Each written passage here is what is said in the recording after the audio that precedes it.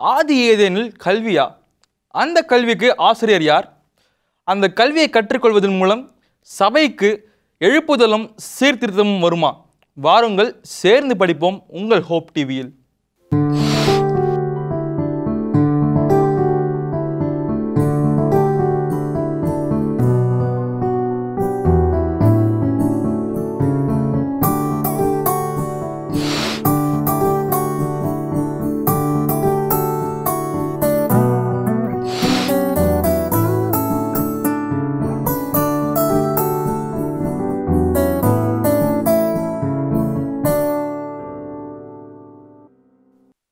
உலகமெங்கும் இணைந்திருக்கும் hope TV Tamil நேர்களுக்கு அன்பு வணக்கங்கள். நான்காவது காலாண்டு இரண்டாம் பாடத்தில் கடன் செல்ல இருக்கிறோம் பாடத்தை சிறப்பிக்கத்தக்கதாக நம்ம இடத்துல பொதுவர் ஜான்சன் மற்றும் பள்ளி முதல்வர் திரு வேதநாயகம் இருக்கிறாங்க. அவங்களையும் வரவேற்றுக்கொள்ளலாமா பொதுவர் ஜான்சன் பள்ளி முதல்வர் வேதநாயகமுக்கு வணக்கங்கள். வரவேற்றுக்கொள்கிறோம் பாஸ்டர் இந்த பாடத்துக்கான தலை மனப்பாட பகுதியும் சொல்லுங்க. கருத்துடைய பரிசுநாமத்துக்கு மகிமை உண்டாதாக ரெண்டாயிரத்தி இருபதாம் ஆண்டு நான்காம் காலாண்டில் பாடங்களை படித்து கொண்டிருக்கிறோம். இது இரண்டாவது வார பாடம் தலைப்பு குடும்பம். அஹ், மனப்பாட வசனமாக நீதிமொழிகளின் புஸ்தகம் முதலாம் அதிகார எட்டாவது வருஷத்தில் என் மகனே உன் தகப்பன் புத்தை கேள். உன் தாயின் போதகத்தை தள்ளாதே என்று மனப்பாட வசனமாக கொடுக்கப்பட்டுள்ளது. மிகவும் அருமையான ஒரு வசனம் வந்து சார் இந்த பாடத்துக்கான அறிமுகம். வாழ்க்கை என்பது பள்ளிக்கூடம். இஸ்ரவேல் ஜனங்களுடைய கல்வி முறை மிக ஒரு அருமையான ஒழுங்கை கொண்ட ஒரு முறையாக இருந்தது. குடும்பத்திலே நியாயப்பிரமாணத்தில் வெளிப்படும் தேவனுடைய குணாதிசயம் தேவனுடைய மகத்துவம் போன்றவற்றை பிள்ளைகளுக்கு சொல்லிக் கொடுத்தார்கள்.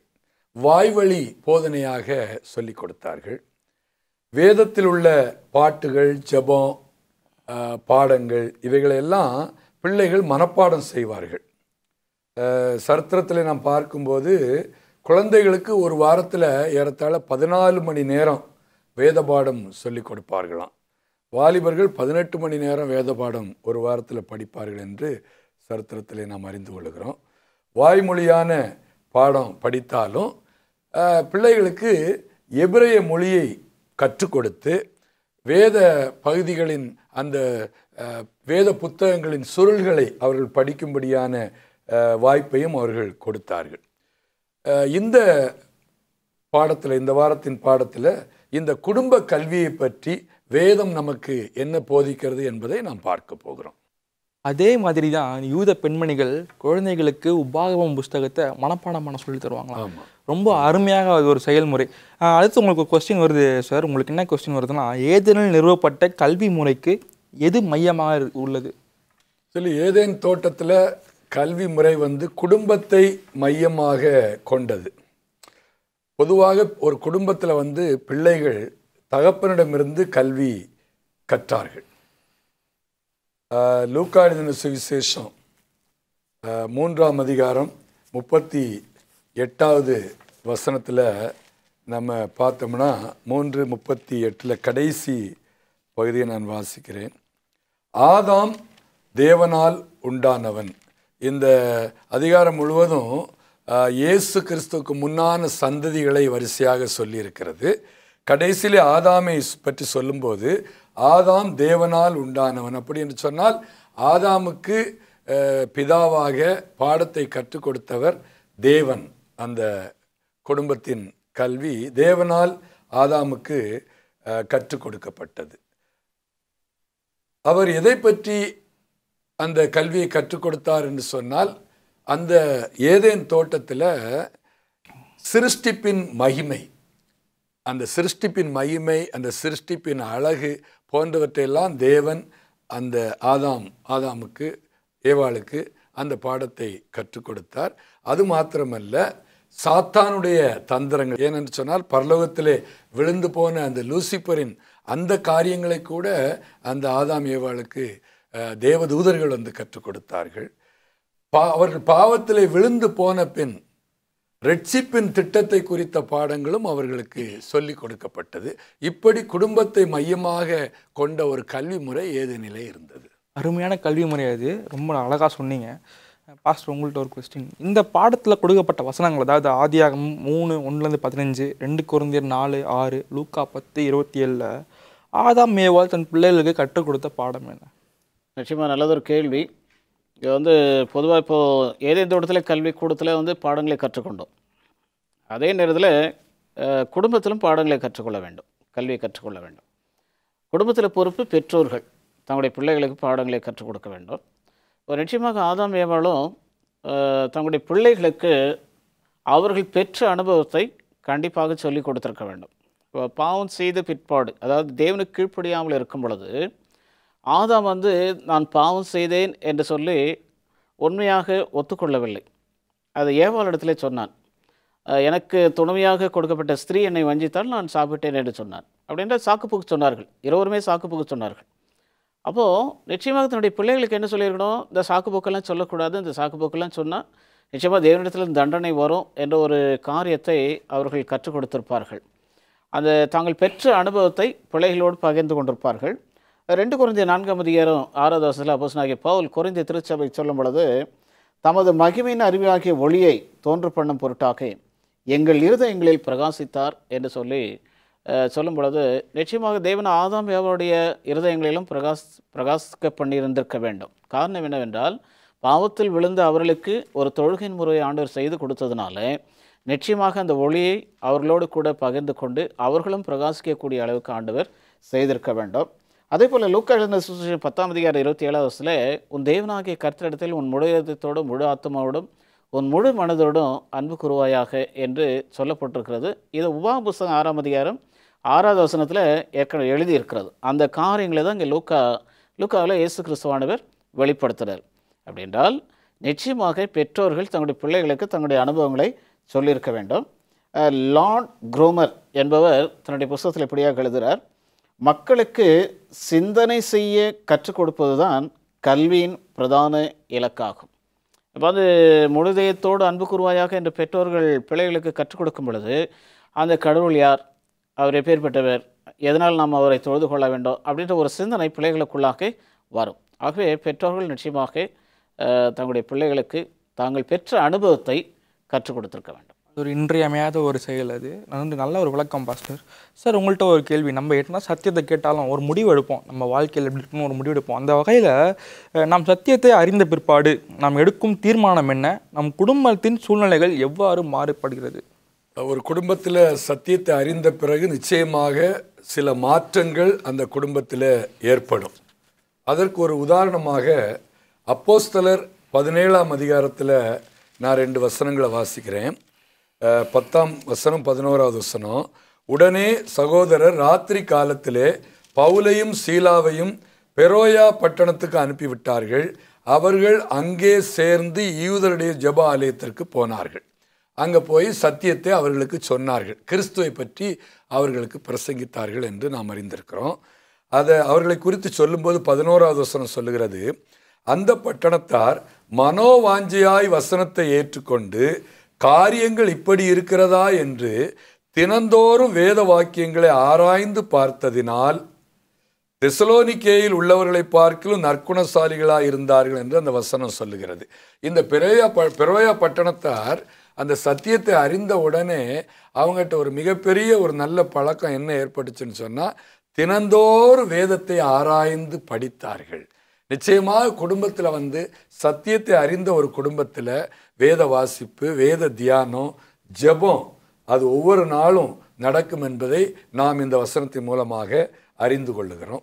அதே மாதிரி குடும்பத்தில் சமாதானம் ஒழுங்கு இந்த காரியங்களெல்லாம் அந்த குடும்பத்தில் இருக்கும் என்பதையும் நாம் அறிந்து கொள்ள வேண்டும். போ- போதகர் சொன்னபடி ஆதாமும் ஏவாளும் அவருடைய பிள்ளைகளுக்கு அந்த சத்திய அவர்கள் கேட்ட அந்த தேவனிடம் கேட்ட சத்தியத்தை அவர்கள் சொல்லியிருப்பாங்க. Cain Abel.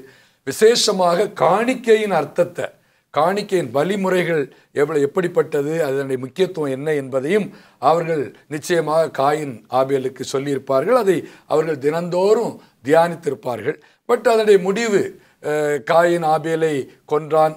பொறாமையினால காணிக்கை அங்கீகரிக்கப்படாததான் படாதனால் என்று நாம் வாசிக்கிறோம். பட் அவர்கள் அந்த குடும்பத்தில் அந்த சத்தியத்தை அவர்கள் சொல்லி வந்தார்கள் என்பதை அறிந்து கொள்ள வேண்டும். ரொம்ப அருமையாக சொன்னீங்க சார் ஒரு சிறிய இடைவெளிக்கு பிறகு மீண்டும் சந்திப்போம். நேர்களை சிறிய இடைவெளிக்கு பிறகு மீண்டும் தொடரும்.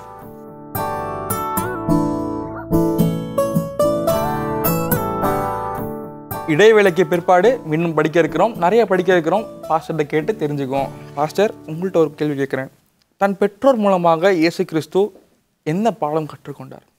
பொதுவாக இங்கே இயேசு கிறிஸ்துனுடைய பெற்றோர்கள் வந்து மிக தாழ்மையானவர்கள் ஆண்டவருக்கு பயபக்திக்குரிய பிள்ளைகள்.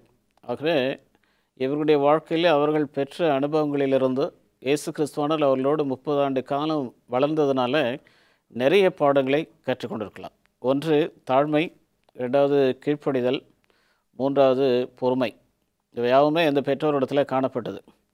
அப்போது இந்த கீழ்ப்படிதலும் தாழ்மையும் பொறுமையும் இணைந்து அவர் என்ன செய்தார் முப்பது வருடம் பெற்றோரிடத்தில் இருந்து கீழ்ப்படிந்து நடந்து அதன் பிறகு ஞானம் ஒழுக்கு பெற்று தன்னுடைய ஊழியத்திற்காக அவர் பிரயாணப்பட்டு சென்றார். இங்கே பார்க்குறோம் லுக்கா எழுதின சுசேஷம் ரெண்டாம் அதிகாரம் ஐம்பத்தி ஒன்று ஐம்பத்தி ரெண்டாவது வசனத்தில் பின்பு அவர் அவர்களுடனே கூட போய் நாசிரேத்தூரில் சேர்ந்து அவர்களுக்கு கீழ்ப்பட்டிருந்தார் என்று சொல்லி வாசிக்கிறோம். ஐம்பத்தி ரெண்டாவது வசனத்தில் இயேசுவானவர் ஞானத்திலும் வளர்த்திலும் தேவக்கிரவையிலும் மனுஷ தயவிலும் அதிகம் அதிகமாய் விருத்தி அடைந்தார் என்று சொல்லி வாசிக்கிறோம். அப்படின்றால் பெற்றோரிடத்திலிருந்து தான் கற்றுக்கொள்ளாத காரிய கற்றுக்கொள்ளாவிட்டால் நிச்சயமாக அவர் அந்த பாடங்களை அவர் செய்திருக்க முடியாது. ஒருவேளை பல்லவத்திலிருந்து ஞானம் கொடுக்கப்பட்டிருக்கோம். ஆனாலும் பெற்றோரிடத்திலிருந்து சில பாடங்களை அவர் கற்றுக் கொடுத்தார். பெயர் அறியப்படாத ஒரு ஆசிரியர் எழுத்தாளர் எழுதுகிறார் கடந்த காலத்தில் உன்னை காயப்படுத்தினதை குறித்து மறந்துவிடு. ஆனால் அது கற்றுக் கொடுத்த பாடத்தை மறந்து விடாதே என்று ஒரு எழுத்தாளர் எழுதுகிறார். என்றால் என்ன பாடங்களை அவர் கற்றுக் கொடுத்தார் அதை மறக்காமல் தன்னுடைய ஊழியத்தில் அதை பயன்படுத்தி தேவனுக்காக சிறப்பாக இருந்தார். ரொம்ப அருமையாக சொன்னீங்க. சார் உங்கள்கிட்ட ஒரு கேள்வி. இயேசு கிறிஸ்து குழந்தையாய் குழந்தை பருவத்தில் இருக்கும்போது என்ன கற்றுக்கொண்டார் குழந்தையாக இருக்கும்போது அவர் தாயின் மடியிலே வேதத்தை கற்றுக்கொண்டார் போதகர் அவர்கள் அருமையாக என்னென்ன பாடங்களையெல்லாம் பெற்றோர்கள் கற்றுக் கொடுத்தார்கள்னு சொன்னாங்க. அவர் தேவகுமாரனாக மோசே தீர்க்க தரிசிக்கு வெளிப்படுத்திய தீர்க்க தரிசனங்களை இப்பொழுது மனுஷகுமாரனாக தன்னுடைய தாயின் மடியிலே உட்கார்ந்து அவர் கற்றார் என்பது மிகவும் ஆச்சரியமான ஒரு அனுபவம். யூதர்களுடைய பிள்ளைகள் பொதுவாக ரபிமார்களின் பள்ளிக்கூடத்திற்கு செல்லுவார்கள்.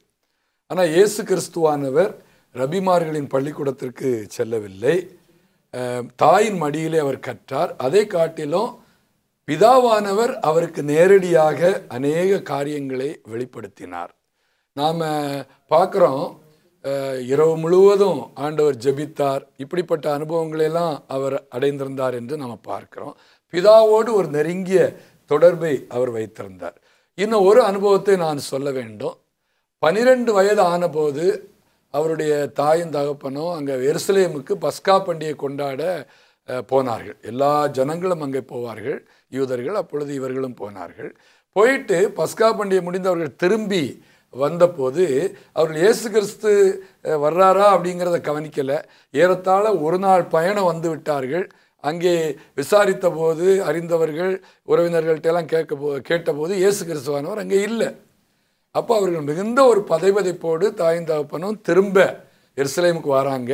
வேதம் சொல்லுகிறது ஏறத்தாழ மூன்று நாளைக்கு பிறகு இயேசுவை அவர்கள் கண்டு கொண்டார்கள். ரெண்டாம் அதிகாரம் நாற்பத்தி ஆறாவது வசனம் சொல்லுகிறது மூன்று நாளைக்கு பின்பு அவர் தேவாலயத்தில் போதகர் நடுவில் உட்கார்ந்திருக்கவும் அவர்கள் பேசுகிறதை கேட்கவும் அவர்களை வினாவவும் கண்டார்கள். அது ரொம்ப ஆச்சரியமான ஒரு சீன்.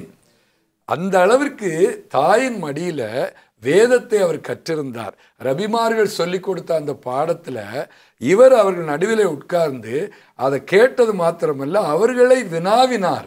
அவர்களிடம் கேள்விகள் கேட்டார் பதில் சொன்னார். அப்படிப்பட்ட ஒரு வேத அறிவை அவர் தாயின் மடியிலிருந்து கற்றுக்கொண்டார் என்பதை நாம் அறிந்து கொள்ளும் மிகவும் சிறப்பாக சொன்னீங்க. பாஸ்டர் உங்கள்கிட்ட ஒரு கேள்வி. ஆசிரியருக்கும் மாணவர்களுக்கும் உள்ள தொடர்பு என்ன பாஸ்டர்?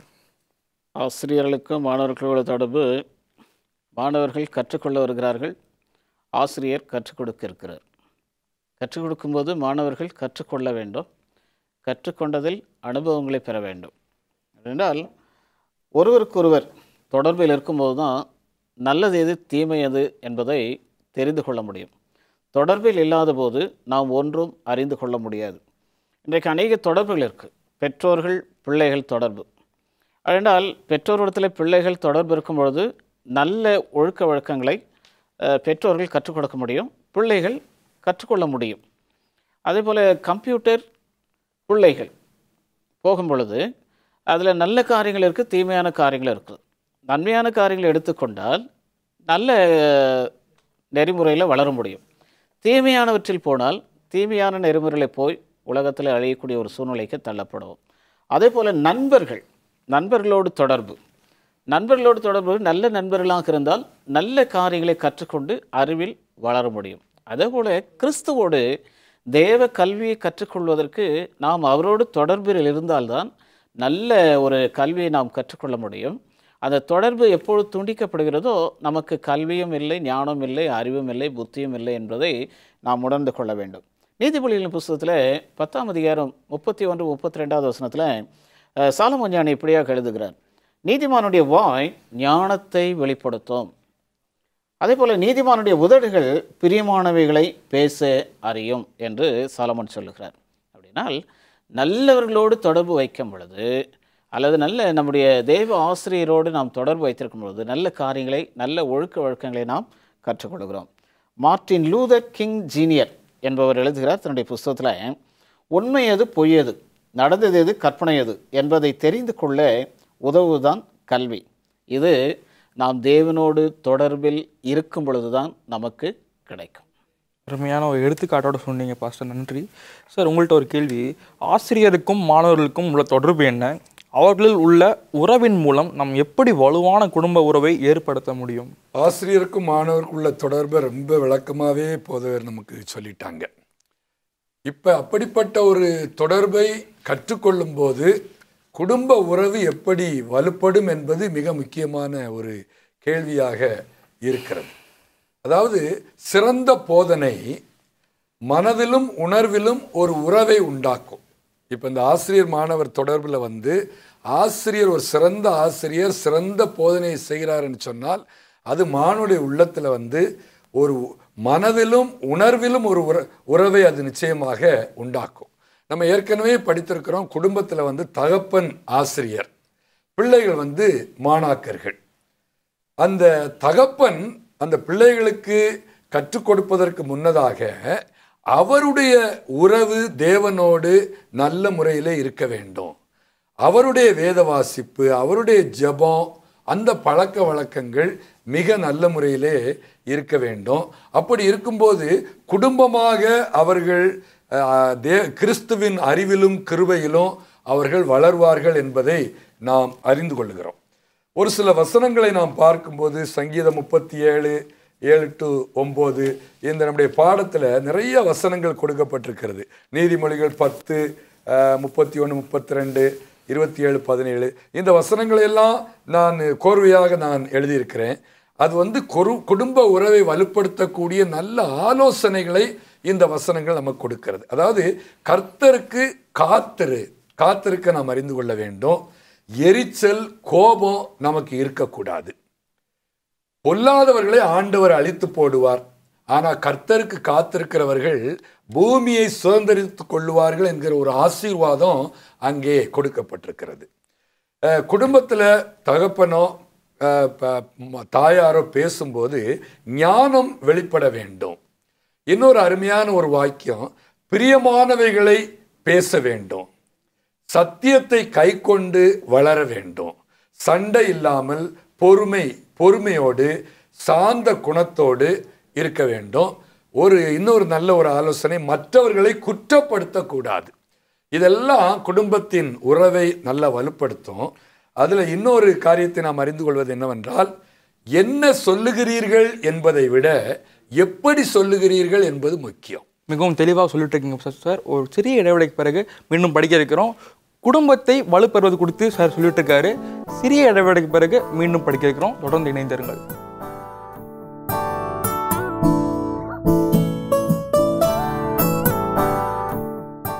மீண்டுமாக இடைவெளிக்கு பிறகு சந்திப்பது மிகுந்த மகிழ்ச்சி. வலுவான குடும்பத்தை ஏற்படுத்துவது எப்படின்னு சொல்லிட்டு நம்ம படிச்சுட்டு இருந்தோம். மேலும் படிப்போம். பாஸ்டர் உங்கள்கிட்ட ஒரு கேள்வி. பிள்ளைகளின் கல்வி மீது பெற்றோர்களுக்கு பங்கு என்ன பாஸ்டர்? நிறைய பங்கு இருக்குது அதில் முதலாவது வேத முறைப்படி பிள்ளைகளை கோவப்படுத்தாமல் பாடங்களை கற்றுக் கொடுக்க வேண்டும் அப்படின்னு இருக்கும் ரெண்டாவது எபேசியர் ஆறாம் அதிகார் நான்காவது வருஷத்தில் பிதாக்களை நீங்களும் உங்கள் பிள்ளைகளை கோபப்படுத்தாமல் கர்த்தர்கேற்ற சிற்சையிலும் போதனையிலும் அவர்களை வளர்ப்பீர்களாக என்று சொல்லப்பட்டிருக்கிறது. அதோடு கூட பழைய ஏற்பாட்டில் நியாயாதிபதிகளின் புஸ்தத்தில் பதிமூன்றாம் அதிகாரத்தில் நீங்கள் வாசித்தீங்கன்னா மனோவா நீண்ட காலத்துக்கு பிறகு அவருக்கு குழந்தை பாக்கியம் ஒன்று தேவதூதனால் கொடுக்கப்படுகிறது. அப்போ அவர் என்ன செய்யறாருன்னா முழங்கால் படிட்டு ஜெபம் பண்ணுறாரு ஆண்டவர் இடத்துல. ஆண்டவரே பிறக்க போகிற இந்த குழந்தையை நாங்கள் எப்படி வளர்க்க வேண்டும்? இது ஒரு மிக முக்கியமான ஒரு காரியம் குடும்பத்தில். குடும்பத்தின் தலைவன் தன்னுடைய குழந்தை எப்படி வளர்க்க வேண்டும் என்ற ஒரு ஞானத்தை ஆண்டோடத்தில் கேட்கிறார். அப்போ ஆண்டவர் அதற்குண்டான காரியங்களை சொல்லி அவர் என்ன செய்கிறார் இப்படி இப்படி வளர்க்க வேண்டும்னு சொல்லி விதிமுறைகளை கொடுக்கிறார். அந்த விதிமுறைகளின்படி அவர் என்ன செய்கிறார் என்றால் நடத்துகிறார் பிள்ளைகளை வளர்க்கிறார். என்றால் தந்தை தான் குடும்பத்தின் தலைவர். தாயும் தந்தையும் அல்லது பெற்றோர்கள் குடும்பத்தில் பொறுப்பற்றவர்களாக இருந்தால் பிள்ளைகளுடைய வாழ்க்கை அல்லது கல்வி முறை சீரழியும் என்று நாம் பார்க்கிறோம். ரெண்டாவதாக ஆவிக்குரிய வாழ்க்கையில் ஆவின் கனிகளை கொடுக்கக்கூடியவர்களாய் பிள்ளைகளை வளர்க்க வேண்டும். கலாத்திற்கு நிருபத்தில் ஐந்தாம் அதிகாரம் இருபத்தி ரெண்டு இருபத்தி மூன்று வசனங்களில் இந்த ஆவின் கனி ஒன்பது கனிகளை பற்றி அப்போஸ்தலனாகிய பவுல் தெளிவாக சொல்லுகிறார். அதை வாசிக்கிறேன் உங்களுக்காக. ஆவின் கனியோ அன்பு சந்தோஷம் சமாதானம் நீடிப்புறமை தயவு நற்குணம் விசுவாசம் சாந்தம் இச்சையடக்கம். இப்படிப்பட்டவர்களுக்கு விரோதமான பிரமாணம் ஒன்றுமில்லை. என்றால் இந்த கனிகள் கொடுக்கக்கூடியவர்களாய் பிள்ளைகள் இருக்கத்தக்கதாக பெற்றோர்கள் அவர்களை வளர்க்க வேண்டும். இன்னும் சிறப்பான ஒரு எடுத்துக்காட்டு பெற்றோர்கள் சரியில்லைன்னா பிள்ளையோட வாழ்க்கை சீரழிந்து போய்விடும்ன்றது நல்ல ஒரு பாயிண்ட்டு சார் உங்கள்கிட்ட ஒரு கேள்வி. இந்த பாடத்தில் கொடுக்கப்பட்ட வசனங்கள் அதாவது எபேசியர் ஐந்து இருபத்தி ரெண்டு இருபத்தி மூணு இருபத்தி ஐந்து ஒன்று குருந்தியர் பதினொன்று மூன்று ஆகிய வசனங்களில் கணவன் மனைவிக்கு கற்றுக் கொடுக்கும் பாடம் என்ன? கணவன் மனைவிக்கு நல்ல பாடங்களை இந்த வசனங்களில் நம்ம பார்க்குறோம். நல்ல ஆலோசனைகள். அதாவது மனைவிகளே உங்கள் சொந்த புருஷருக்கு கீழ்ப்படியுங்கள்.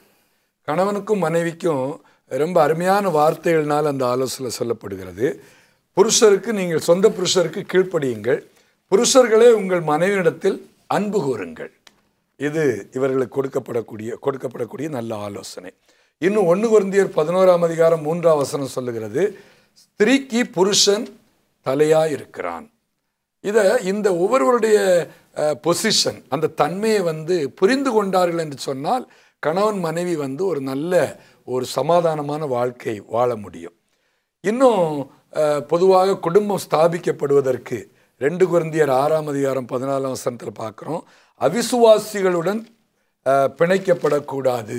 அது சில நேரங்களில் சில குடும்பங்கள் அப்படிப்பட்ட கஷ்டங்களுக்குள்ளாக கடந்து செல்கிறதையும் நாம் பார்க்கிறோம். கணவன் மனைவி இவர்கள் மத்தியில் வேசித்தனம் காமவிகாரம் வாக்குவாதம் பொறாமை இதெல்லாம் இருக்கக்கூடாது. அவர்கள் கிறிஸ்துவை தரித்து கொள்ள வேண்டும். அப்படி இருக்கும்போது அவர்கள் கிறிஸ்துவை பிள்ளைகளுக்கு பிரதிபலிக்க முடியும். அப்படி பிரதிபலிக்கும் போது தான் அந்த பிள்ளைகளும் கூட தேவனை நேசிப்பதற்கு தேவ பயம் தேவ தேவனுக்கு தங்களை ஒப்பு கொடுக்கக்கூடிய பாடங்களை அந்த பிள்ளைகள் கற்றுக்கொள்வார்கள். ஒரு குறிப்பிட்ட வளர்ச்சியை பிள்ளைகள் அடைஞ்சிட்டாங்கன்னு சொன்னால் அதன் பிறகு தெரிந்தெடு தெரிந்தெடுக்கும் உரிமை அவர்களுக்கு தெரிஞ்சிடும் அதன்படி அவர்கள் சரியானவைகளை தெரிந்தெடுக்க கற்றுக்கொள்வார்கள். ரொம்ப அருமையாக சொன்னீங்க சார் ஃபர்ஸ்ட் உங்கள்கிட்ட வியாழக்கிழமை பாடத்தில் முதல் கேள்வி உங்கள்கிட்ட கேட்க போகிறேன் என்ன கேள்வினா பெற்றோர்கள் குழந்தைகளுக்கு எதை கற்றுக் கொடுக்க மறக்கக்கூடாது? நிச்சயமாக உபாகம் புஸ்தகம் ஆறாம் அதிகாரம் ஆறுலேருந்து எட்டு வரைக்கும் உள்ள ஆண்டவர் ஒரு எச்சரிப்பின் செய்தி என் கொடுக்குறார் பெற்றோர்களுக்கு. அதாவது இன்று நான் உனக்கு கற்பிக்கிற இந்த காரியத்தை உன்னுடைய பிள்ளைகளுக்கு நிச்சயமாக கற்றுக் கொடுக்க வேண்டும். அவர்கள் உட்காரும் பொழுதும் எந்திருக்கும் போதும் படுக்கும் பொழுதும் நடக்கும் பொழுதும் எல்லா நேரங்களிலும் அதை சிந்தித்து கொண்டிருக்க வேண்டும். அதை அடையாளமாக தன்னுடைய கைகளில் கட்டிக்கொள்ள வேண்டும். உள்ளத்திலும் அது எழுதப்பட்டிருக்க வேண்டும் அப்படின்னு சொல்லிட்டு ஆண்டவர் எச்சரிப்பை கொடுக்குறார். கடைசி காலங்களில் எழுத்துப்பூர்வமாக இது புத்தக வேத புத்தகத்தில் இருந்தாலும் உள்ளத்தில் எழுதுவேன் என்று சொல்லி ஆண்டவராக இயேசு கிறிஸ்து சொல்லுகிறார் ஒரு கொட்டேஷன் ஒன்று நான் உங்களுக்காக வாசிக்கிறேன். மார்ட்டின் லூதர் கிங் ஜூனியர் என்பவர் எழுதுகிறார் ஒழுக்கத்தோடு சேர்ந்த அறிவை வளர்ப்பது தான் உண்மையான கல்வி. திறமை மட்டும் அளிக்கும் கல்வியால் சமுதாயத்திற்கு தீமை தான் விளையும். அப்படின்றால் ஒழுக்க நெறிகளை அறிவுறுத்தக்கூடிய வேத பாடம் என்னவென்றால் தேவனுடைய பத்து கற்பனைகள். அருமையாக சொன்னீங்க சார் நிறைவாக கேள்வி கேட்க இருக்கிறேன். வேத முறைப்படி குழந்தைகளுக்கு நாம் என்ன கற்றுக் கொடுக்க இருக்கிறோம்? ஆமாம் கிறிஸ்துவின் கிறிஸ்தவ கல்வியின் கொள்கைகள் எல்லாமே அந்த வேத முறைப்படி அந்த பிள்ளைகளுக்கு கல்வியை கற்றுக் கொடுக்கக்கூடிய தன்மைதான். நாம் ஒபாமா புஸ்தகத்தில் யோசுவாவின் புஸ்தகத்தில் வாசிக்கும்போது நீங்கள் நன்றாக இருப்பதற்கும் விருத்தி அடைவதற்கும் கர்த்தர் கற்பித்த கற்பனைகள் கட்டளைகள் நியாயங்கள் இவைகளை எல்லாம் கடைபிடிக்க வேண்டும். அதாவது நன்றாக இருக்கணும் விருத்தி அடையணும்னா அது பாஸ்டர் சொன்ன மாதிரி அந்த நியாயப்பிரமாணம் அந்த பத்து கற்பனைகளை அவர்கள் கடைபிடிக்க வேண்டும். அதை எப்படியெல்லாம் கடைபிடிக்க வேண்டும் என்று நம்ம அந்த புஸ்தகத்தில் பார்க்குறோம் அதை போதகர் நன்றாக சொல்லிவிட்டார்கள். அதாவது உட்கார்ந்திருக்கிற போது எழுந்திருக்கிற போது படுத்துக்கொள்ளுகிற போது என்றெல்லாம் அதிலே சொன்னார்கள். அதை வீட்டு நிலை வாசல் எல்லா இடத்துலையும் எழுத வேண்டும் என்று சொல்லியிருக்கிறார்கள் சொல் சொன்னார்கள். கர்த்தருக்கு பயந்து அவருக்கே ஆராதனை செய் என்று நமக்கு ஆலோசனை சொல்லப்படுகிறது. அந்த குடும்பத்தில் தாய் தான் முதல் ஆசிரியை. அதாவது எதுவும் ஆழமாய் பதியும் சிறு வயதில் கல்வி கற்பிக்கும் அதிக பொறுப்பு அந்த தாய்க்கு இருக்குது. மிகவும் சிறப்பாக குடும்பத்தின் கல்வியை பற்றி படித்தோம். நிறைவாக பாச ப்ரேயர் பண்ணி முடிச்சிருங்க. எங்களை நேசிக்கிற அன்பின் பரலோ பிதாவே குடும்பத்தின் வாயிலாக கல்வியை நாங்கள் எப்படி பிள்ளைகளுக்கு கற்றுக் கொடுக்க வேண்டும் என்ற முறையை கர்த்தர்கள் க கற்றுக் கொடுத்திருக்கிறீர். இந்த கல்வியை நாங்கள் எங்களுடைய பிள்ளைகளுக்கு கற்றுக் கொடுக்கவும் இதை பார்த்து கொண்டிருக்கிற உங்களுடைய பிள்ளைகளும் ஆண்டவரே அவர்களுடைய பிள்ளைகளுக்கு கற்றுக் கொடுத்து தேவனுடைய ஆசீர்வாதங்களை பெற்றுக்கொள்ள தேவன் உதவி செய்யும்படியாய் இயேசு நாமத்தில் பிதாவே. குடும்ப கல்விகளை பற்றி தெளிவாக எடுத்துரைத்த பாஸ்டருக்கும் முதல்வருக்கும் எனது நன்றிகள். நேயர்களே குடும்ப உறவை பற்றி நம்ம தெளிவாக படித்தோம். கடவுளுடைய சிச்சையின்படி நம்ம குடும்பத்தை நடத்தணும்னா கடவுள் நம்மளோட இருந்து நம்மளை ஆசீர்வதிப்பாராக. மீண்டும் ஒரு நிகழ்ச்சியில் சந்திக்கும் வரை இணைந்திருங்கள் ஹோப் டிவியுடன்